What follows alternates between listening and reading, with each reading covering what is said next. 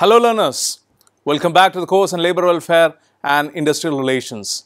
Welcome to the last lecture of the last module specifically where we were looking into the labor codes and today specifically we'll have a detailed discussion on social security, specifically the code on social security 2020. I'm Dr. Abraham Cyril Issac. I'm an assistant professor at the School of Business, Indian Institute of Technology, Guwahati. So, over the entire 11 to 12 modules, we have seen labor welfare, industrial relations specifically. Now, I would try to end this with great emphasis on social security. Now, when it comes to social security, many a time uh, industries or generally people who are concerned with uh, you know giving a certain livelihood to people or the the employer per se is not very keen on social security aspects. They are keen with respect to the, the normal routine wage, salary, working conditions, etc. But social security is a step beyond, which generally the people or generally the employer or the or the capital class will not actually look into or will not actually care for. Now, this particular code, the Code on Social Security 2020, is essentially an attempt to consolidate, amend all the laws and acts that are related to social security, bring it under one umbrella and to give more teeth, more efficiency to the particular act in itself or the particular social security element in itself. Let's look into it with greater detail. The Code of Social Security 2020 aims to regulate both the organized and unorganized sector. Please note that has been the critical update when it comes to the social security part. The code is to amend and consolidate the laws relating to social security the goal to extend social security to all employees and workers either in organized or unorganized sector. When you look into social security, what is social security? Social security refers to the protection measures provided to workers to ensure health care and income security in case of certain contingencies. It could be contingencies like let's say old age, maternity or accidents for that matter. So, accidents if you look into uh, you know it could be anything that can happen and that may happen. So, what are the the mechanisms to address that or uh, there's some laws that has happened with respect to on the hand of uh, employee what are the mitigative reasons or mitigating aspects that can that can be brought by the code? Now, when you look into uh, the Code on Security, Social Security 2020, the code aims to regulate the organized and unorganized sector both as I've already mentioned and extend all the social security benefits during sickness, maternity, disability, etc. to all employees and workers across different organizations. So, this is certainly a comprehensive legislation that integrates nine existing labor laws to provide a unified framework for social security coverage. Let's understand this how these nine existing laws have come under one umbrella and what are these laws specifically.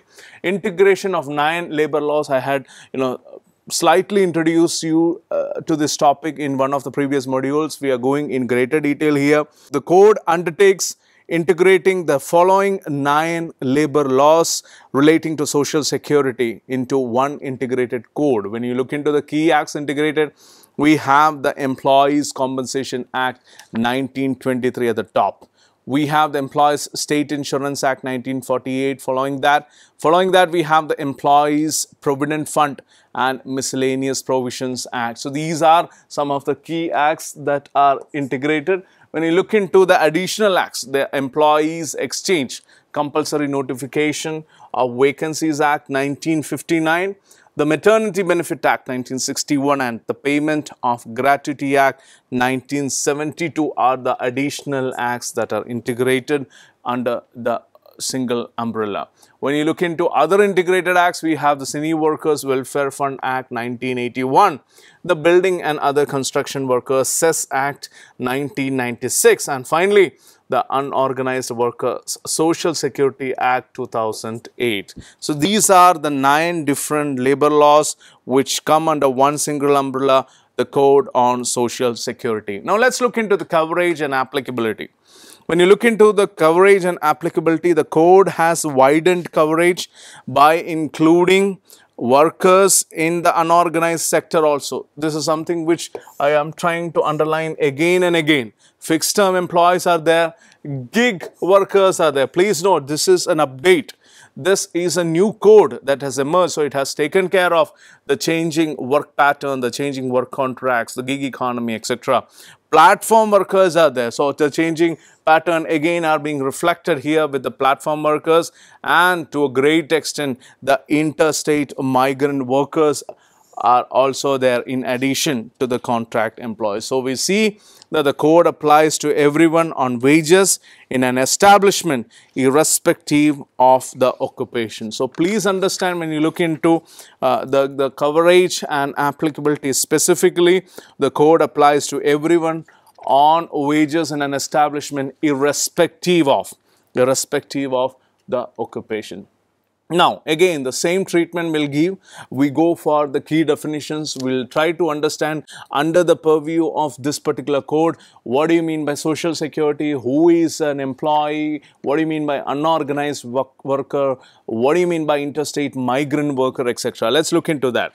Now, we'll start with the social security per se. Social security means the measures of protection afforded to employees inclusive of unorganized workers. It could be gig workers and platform workers to ensure access to healthcare and to provide income security particularly in case of old age, in case of unemployment, sickness, invalidity or even work injury, maternity or loss of a breadwinner by means of rights conferred on them and schemes actually framed under this Code on Social Security 2020. So this is what you understand by social security per se. When you want to look into unorganized worker, who is an unorganized worker under the Code on Social Security 2020? Let's look into section 2 Section 2 defines an unorganized worker inclusive of a home-based worker, self-employed worker or a wage worker in the unorganized sector and includes a worker in the organized sector who is not covered by the Industrial Disputes Act 1947 or chapters 3. Chapter 3 is chapter on the EPF to 7. So, chapter on the employees compensation if you go through the particular code of the code specifically of the code on social security. So, we uh, if you want to have detail of these chapters, I will specifically mention that in the Industrial Disputes Act 1947 or chapter 3. Chapter 3 is the chapter on EPF and chapter uh, it extends to chapter 7 which is the chapter on employees compensation. So, critically these are the segments which involve the mention of the unorganized worker. When you look into uh, you know, specifically section 2, subclause 2 of the code, it defines aggregator as the digital intermediary of or a marketplace for a buyer or user of a service to connect with the seller or the service provider. If you look into the schedule 7, the aggregators listed there are, uh, you know, ride sharing services, something like Uber, Ola, etc., food and grocery delivery services. You have the logistic services. We have the e-marketplace, both marketplace and inventory model. It could be for wholesale, it could be for retail sale of goods and or services, both B2B and B2C. It could be professional service providers. It could be healthcare. It could be travel and hospitality. It could be content and media services and it could be any other goods and services provider platform. So, this is what you understand by aggregator. I repeat, aggregator would have anything that is listed under schedule 7 from ride sharing services to let's say food and grocery delivery services to logistic services to e-marketplace uh, you know, both B2B and B2C professional services would be there, healthcare would be there, travel and hospitality, content and media services and any other goods and services. So, these are the different uh, categorical arrangement of aggregators within the code. On employees, we understand that the term employees now also includes workers employed through contracts. On interstate migrant workers, it also includes self-employed workers who have migrated from another state. So, what the code on social security 2020 specifically section 2 subclause 35 defines a gig worker a gig worker is something which which actually needs a discussion here a gig worker is defined as a person who performs work or participates in a work arrangement and earns from such activities outside of the traditional employer-employee relationship. So what we understand with respect to the code, it defines a platform work. We have looked into the gig work, we have looked into what aggregator is. Now what is platform work? Platform work is a form of employment in which organizations or individuals use an online platform to access let's say other organizations or maybe individuals to solve specific problems or to provide specific services in exchange for payment. So, if we look into uh, the case of India, for the first time in India, the newly passed labor codes provide for this social security for the gig and platform workers along with workers of the unorganized sector. So, unorganized sector was already there. We, with this code, we also look into the gig workers as well as the platform workers. So, it is for the first time that laws in India have defined what do you mean by gig workers and platform workers, which in itself is a great amendment and update.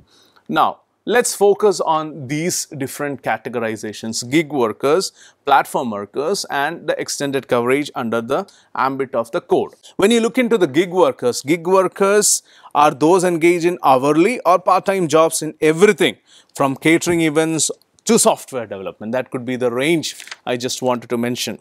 They have a non-standard work arrangement with their employers and share a non-traditional employer-employee relationship. Please understand, on a traditional basis, employer-employee relationship is quite different. Unlike the gig worker arrangement where, the, where there is a non-traditional employer-employee relationship. So, the work is usually temporary and completed within a stipulated time frame. So what we understand somebody like freelancer, somebody like contingent workers or somebody like independent contractors etc can come under the umbrella of gig workers. Even a part-time professor can be classified as a gig worker. So please note this understanding would actually enable you to understand who is specifically a gig worker and it, it is specified under the ambit of this particular code. Now let's look into platform workers for that matter. Platform workers again implies a worker working for an organization that provides specific services using an online platform directly to individuals or organizations. Maybe, uh, you know, you can take examples from workers that are there in Ola or Uber services Swiggy or Zomato delivery agents, etc. So, the social security code is critical and it defines a platform worker as a person engaged in or undertaking platform work. So, what the code defines is that the platform work is nothing but a form of employment in which organizations or individuals use an online platform to access other organizations or individuals to solve specific problems or to provide specific services in exchange for payment. So, this work is also outside what we understand as the traditional employee-employer relationship.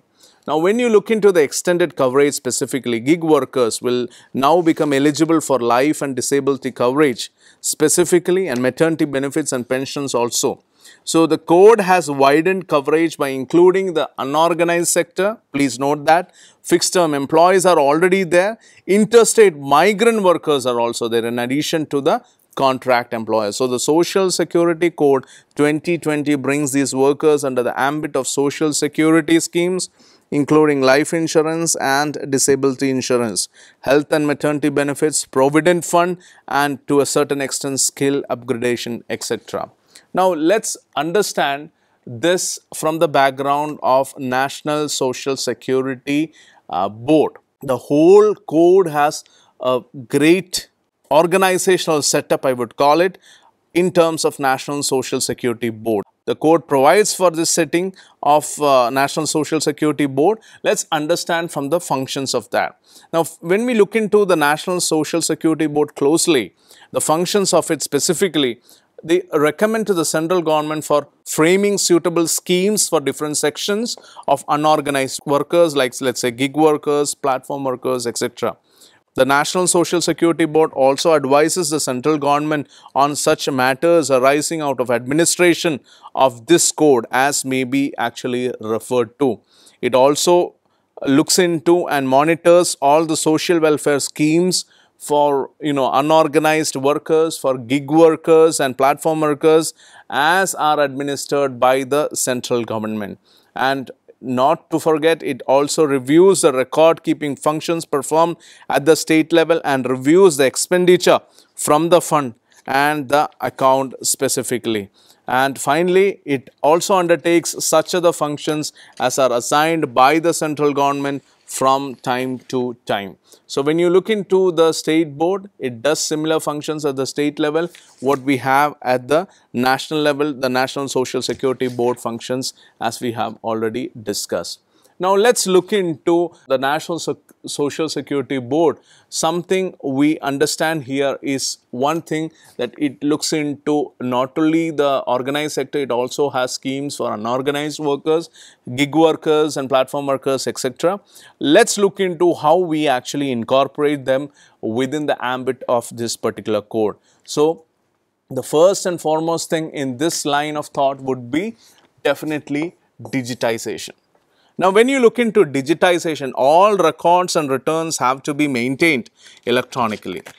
Digitization of data will actually help in exchange of information among various stakeholders, funds set up by the government or will also ensure compliance and also will facilitate the governance. When you look into social security fund specifically, we see that the code mandates setting up of social security fund both at central and the state level. So, section 141 of the code if you go through it on social security 2020 describes that the central government establishes a social security fund for social security and welfare of the unorganized workers gig workers and platform workers. Please recollect our discussions in the previous lecture. The major source of the fund will be the amount collected by way of composition of offences under the code on social security 2020 and any other sources as prescribed. When you look into other important factors or other important provisions, we have the career center as the third factor. When you look into the career centers under the code on social security 2020, we'll see that the career centers will actually replace employment exchanges and it includes any office. It could include employment exchange place or portal established and maintained in the manner prescribed by the central government or the authorities for providing such career services. It could include registration, uh, collection and furnishing of information. It could include uh, you know keeping of registers or otherwise manually, digitally, virtually or through any other mode as may be prescribed by the central government which may inter alia relate generally or specifically to one persons who seek to employ employees, two persons who seek employment, Three, occurrence of vacancies and finally persons who seek vocational guidance and career counseling or guidance to start self-employment. So, these are the individuals who will uh, need or who will be entertained here. One, persons who seek employment. Two, persons who employ employees. Three, occurrence of vacancies and 4 persons who seek vocational guidance. So, these are the critical features when it comes to the career center under the code on social security 2020.